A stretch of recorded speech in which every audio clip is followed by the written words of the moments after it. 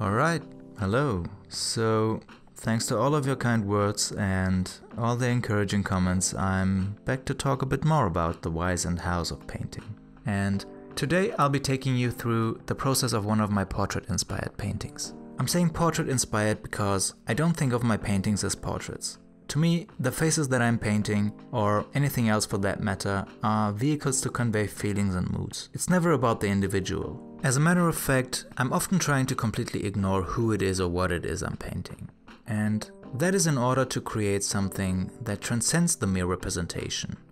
I think it's really important that we free ourselves a bit from the idea of representation in painting, meaning constantly asking ourselves the question what we can paint. Instead, we should ask ourselves how we can paint it and what we want the viewer to think, feel or experience when viewing it. Here's a little insider knowledge that probably no one will tell you. It doesn't really matter what you paint. And it doesn't even matter that much how you paint it to be honest. What matters most are the reactions you are able to create and what you're able to invoke in your viewers. And those things are usually generated in the conceptual stage.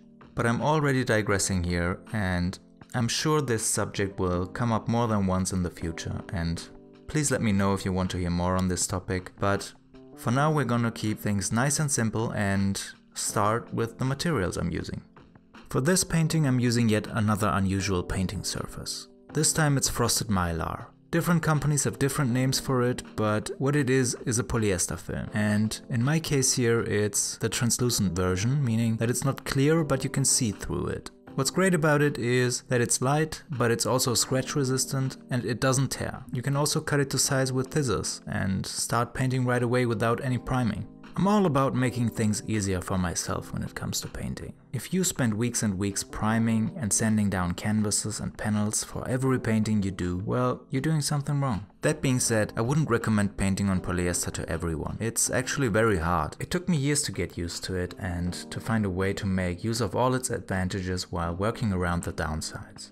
The frosted polyester film doesn't really absorb paint and although it has some tooth to it, it's also quite slippery. Painting on such a surface can be super frustrating when you're not used to it. Since the sheet of mylar is very thin, it's taped to a white panel so that I can paint on a sturdy surface. Apart from that I'm using very simple tools and materials. Oil paint, safflower oil, a few brushes and paint rollers. I mostly use cheap brushes because painting on a sturdy surface wears them down very quickly and I have to throw them away every few weeks. As for the oil paints, I only use high quality oil paints. As a matter of fact, some of my paintings use pigments that pretty much cost an arm and a leg.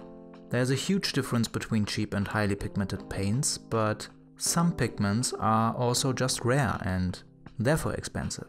Ultramarine blue is not a substitute for lapis lazuli and contrary to popular belief, you cannot mix every color you see with a regular set of oil paints. You can certainly paint anything to look realistically with just a few colors, but we're not in the business of painting just anything realistically here.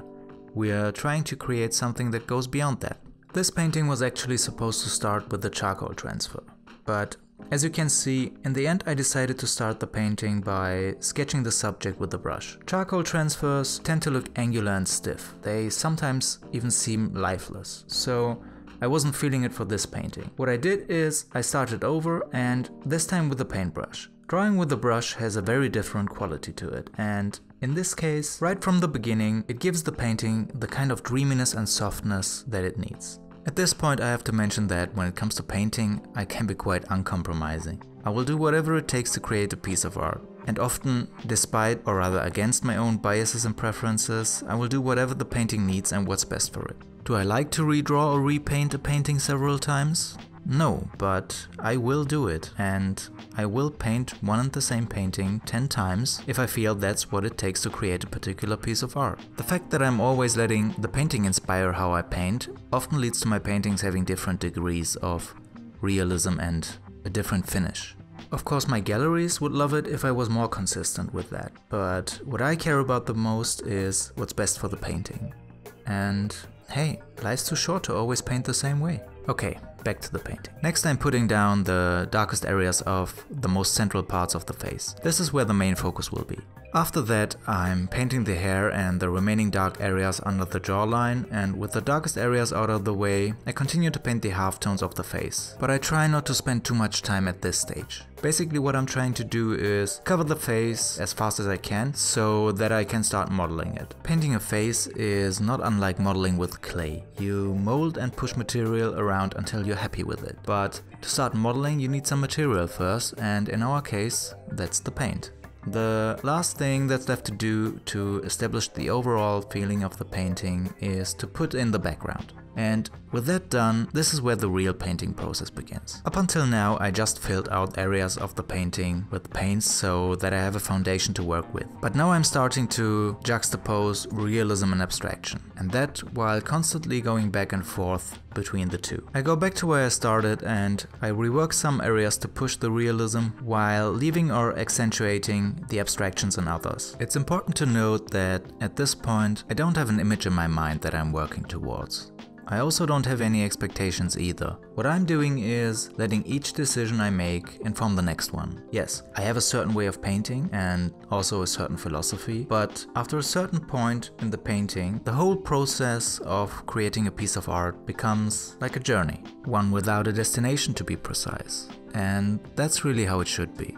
You should have surprises along the way and setbacks. Yes, I could tell you what to do every step of the way, but that wouldn't make for a very interesting journey, would it? If anything, I would like to inspire you to not be so biased and target driven. At the end of the day, we are painting in order to create something. And in my case, as a professional artist, I'm not even painting for myself. Most of the time, I'm creating something for other people.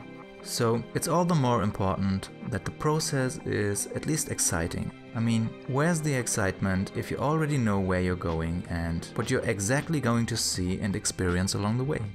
To me, there's nothing more boring than starting in one corner of the painting and ending in another, and then calling the painting down.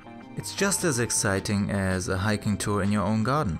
Painting should be an experience, a journey, and not something you just execute. Now, you might be thinking, that's all well and good, but how do I know when the painting is finished then? Well, luckily, that's actually quite easy. You just go outside and you let yourself drift. And you do that until you find yourself at a place you want to stay. Metaphorically speaking, of course. But with that being said guys, we're gonna bring this video to an end. Thanks for watching, please hit like, hit subscribe if you're not already a subscriber and yeah, have a good one.